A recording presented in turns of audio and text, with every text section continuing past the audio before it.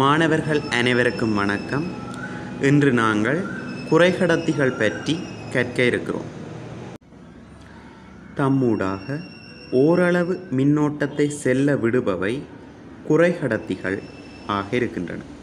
இறுதியோட்டில் நான்கு இலத்திரன்களை கொண்ட நான்காம் கூட்ட மூலகங்கள் பெரும்பாலும் குறைகடத்திகளாக அமைகின்றன. குறைகடத்தி மூலகங்களின் மின் கடத்துத்திறன் கடத்திகளுக்கும் காவலிகளுக்கும் இடைப்பட்டதாக இருக்கின்றன. சாதாரணமான பளிங்கு நிலையில் பார்த்தோம் என்று சொன்னால் இவற்றின் மின் கடத்து திறன் பயனற்ற ஒன்று. இந்த குறைகடத்திகளின் மின் கடத்து திறனை அதிகரிப்பதற்காக வேறு மூலகங்களோட கலப்படம் செய்யப்படுகிறது. குறைகடத்திகளை உள்ளீட்டு குறைகடத்திகள் வெளியீட்டு குறைகடத்திகள் என்று இரண்டு வகைகளாக பிரிக்கலாம். உள்ளீட்டு குறைகடத்திகள் இயற்கையாக காணப்படுகின்ற சிலிக்கன் ஜெர்மானியம் போன்ற தூய குறைகடத்திகளை நாங்கள் உள்ளீட்டு குறைகடத்திகள் என்று சொல்கிறோம் வெளியீட்டு குறைகடத்திகளை பற்றி பார்க்குறதுக்கு முதல் கடத்தி குறைகடத்தி என்று சொல்லப்படுகின்ற திரவியங்களின் மின் கடத்துத்திறன் வெப்பநிலையுடன் மாற்றமடைகின்ற விதம் பற்றி பார்ப்போம். கடத்தியை எடுத்தோம்னு சொன்னால் வெப்பநிலை அதிகரிக்கும் போது சுயாதீனமாக அசைகின்ற இலத்திரன்களின் இயக்கமும் அதிகரிக்கும். அதனால் மின் ஓட்டம் பாய்வதற்கு தடை ஏற்படுத்தப்படுகிறது. அதால் மின் கடத்து திறன் குறைவடையும். ஆனால் குறைகடத்திகளில் வெப்பநிலை அதிகரிக்கும் போது பிணைப்புகள் கூடுதலாக உடைந்து துளைகளும் சுயாதீன இலத்திரன்களும் அதிகரிக்கும். ஆகவே மின்னோட்டம் பாய்வதற்கான தடை குறைவடைந்து மின் கடத்து திறன் அதிகரிக்கும்.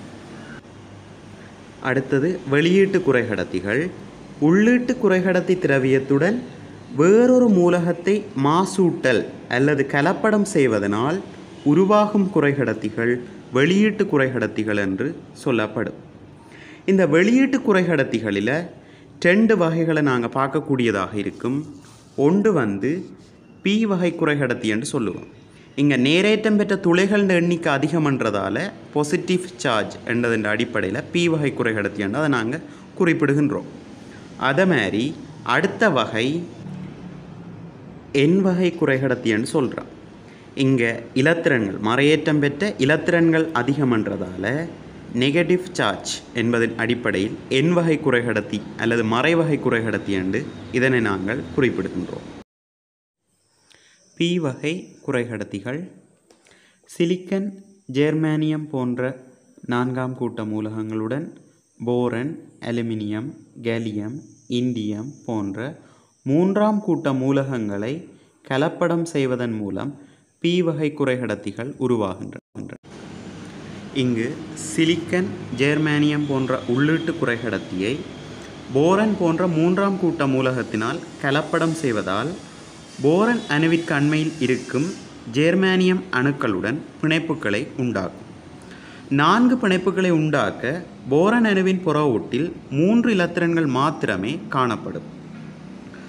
ஆதலால் ஒரு பிணைப்பை உருவாக்குவதற்கு ஒரு இலத்திரன் குறைவாக காணப்படுது.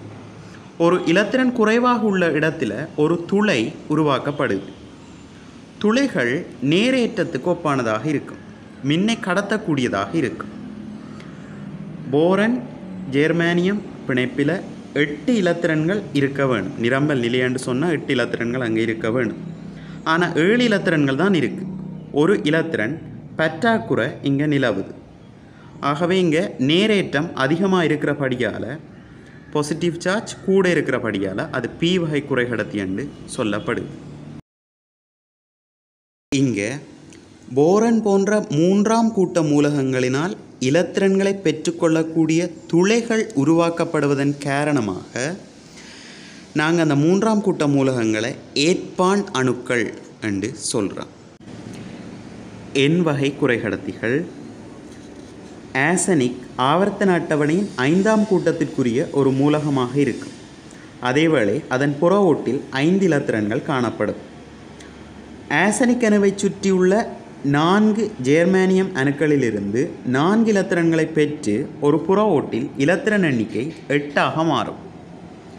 இங்கு ஆசனிக் அணுவின் ஐந்து இலத்திரன்களில் ஒன்று பிணைப்பில் பங்கு பெற்றாமல் எஞ்சி இருக்கின்றது இவ்விலத்திரனானது சாலகத்தில் சுயாதீனமாக இயங்குவதற்கான வாய்ப்பை பெறுகிறது. பிணைப்பில் ஈடுபடாத எஞ்சியுள்ள இலத்திரன் காரணமாக சாலகத்தின் மின்கடத்து திறனானது அதிகரிக்கிறது.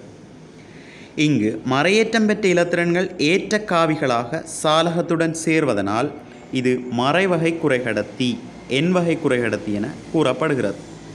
மேலதிகமாக ஒரு இலத்திரன் இருக்கிறபடியால் நாங்கள் எண் வகை குறைகடத்தி என்று சொல்கிறோம் இங்கே ஆசனிக்கு பதிலாக ஐந்தாம் கூட்டத்தைச் சேர்ந்த மூலகமாக இருக்கக்கூடிய பொஸ்பரஸ் எந்திமனி ஆகியவற்றினால் ஒரு உள்ளீட்டு குறைகடத்தியை மாசுபடுத்துவதன் மூலம் எண்வகை குறைகடத்திகளை உருவாக்கி கொள்ளலாம்.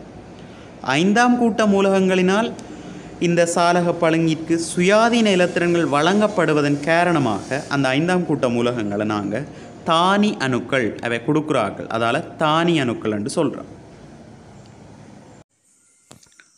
அடுத்த தொகுப்பில் பிஎன் சந்தி தொடர்பாக பார்ப்போம். மாணவர்கள் தொடர்ந்தும் இந்த இலத்திரனியல் தொடர்பாகங்களை பெற்றுக்கொள்ள சேனலை சப்ஸ்கிரைப் செய்யுங்கள்.